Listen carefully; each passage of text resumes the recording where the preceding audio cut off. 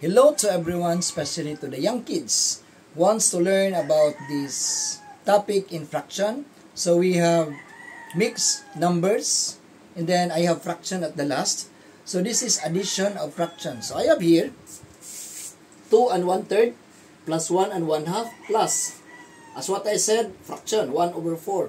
So for the mixed numbers so I will do this one. I will write first the denominator that is 3 then this one will be 2. Then I'll just write here 1 over 4 because no need to transform. So means I need to transform 2 and 1 third to improper fraction. Just multiply 3 times 2 that is 6 plus 1 7. Then the second mixed number so 2 times 1 is 2 plus 1 that is 3. Okay, so I have now 1 4. So what is now the LCD between the three denominators? 3, 6, 4. Okay, so think a number that can divide by 3, divide by 2, and divide by 4. So this is 12. Okay, this is the lowest uh, factor can be divided by 3, 2, and 4. Because 24 can be divided by 3, 2, 4. But I need only the less common denominator. Okay? So 3, uh, 12 divided by 3, that is 4.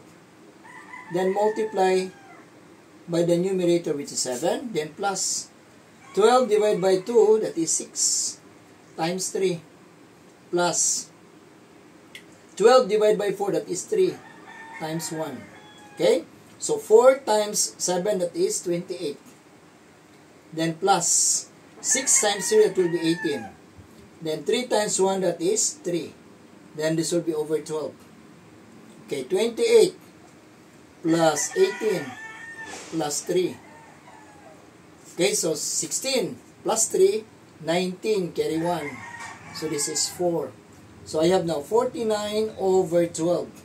Since 49 over 12 that is improper fraction, so we need to divide. 49 divide by 12. So how many 12 are there in 49? There are 4. 4 times 2, that is 8. Then 4 times 1, that is 4. Then minus. So I have now 9 minus 8, that is 1. So therefore, my answer is, I will write first 4. Then remainder, I have 1 over 12. So this is now my final answer. Thanks for watching.